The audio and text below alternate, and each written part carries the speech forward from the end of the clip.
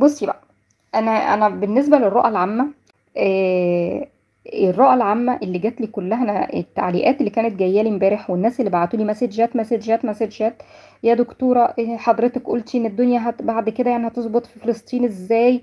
و... والإعلامي عمرو أديب قال أنتوا هتصحوا الصبح هتلاقوا غزة اتدمرت مش هتلاقوا حاجة اسمها غزة. وفي واحدة اسمها ليلى عبد اللطيف طلعت وقالت مش عارف إيه ان الجاي أسوأ. وحضرتك بتطمنينا. وبقول لكم برضه أنا بطمن. أنا عكس كل دول. أنا عكسهم بقى. وده تحدي.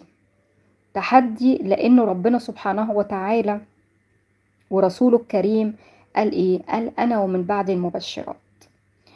وأنا امبارح نزلت لكم على فكرة أنا اللي كنت لابسة العقال ومصورة نفسي كده ومغطية وشي ومنزلة لكم على على الفيسبوك وعلى التيك توك وعلى الانستجرام عندي.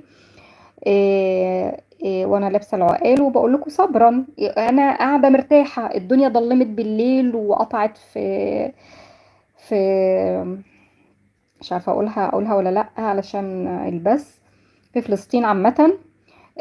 والكهرباء والإنترنت وكل حاجة وأنا قاعدة والله العظيم أنا بنتي جنبي وزوجي وكلنا قاعدين قلت لهم آه، الناس كلها قاعدين كده وخايفين ومرعوبين إن بكرة مش هيلاقوا حاجة اسمها غزة والكلام ده قلت لهم لأ. إيه، في في حاجة حلوة جدا جدا جدا وهم يعني اليهود وكده هيقعوا في شر أعمالهم. الموضوع ده هيقع أنا مش عايزة أقول لكم الأسرار الرؤى اللي جات لي عاملة إزاي عشان كده أنا مطمنة جدا جدا جدا. في ضحايا وفي كل حاجة آه ضحايا من الطرفين آه في.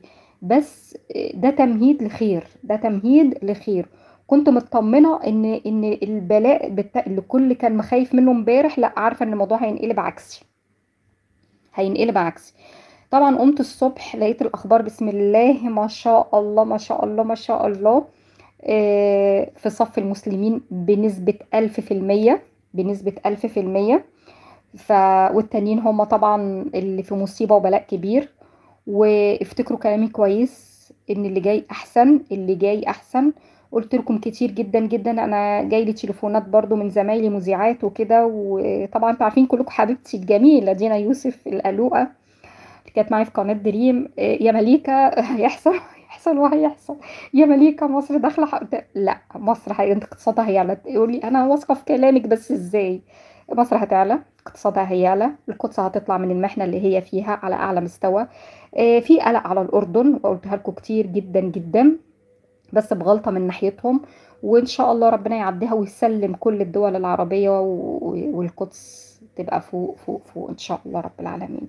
خليكم فاكرين كلامي ده كويس وقريبا جدا مش بتكلم حاجة كده بقى. المستقبل بيقول كذا ومش عارف إيه والح... لا أنا أنا بتكلم في اللي أنا فيه دلوقتي اللي أنا فيه دلوقتي. الناس كانت قلقانة امبارح وأنا منزلة حاجات فيها طمأنينة أقول لكم اصبروا مفيش قلق أنا مش قلقانة أنا قلبي مطمن بشكل مش طبيعي. المهم عايزاكم تهدوا وتطمنوا واكثروا من الدعاء ليهم طبعا وإن شاء الله المحن دي كلها تبقى خير عظيم وبكرة تفتكروا كلامي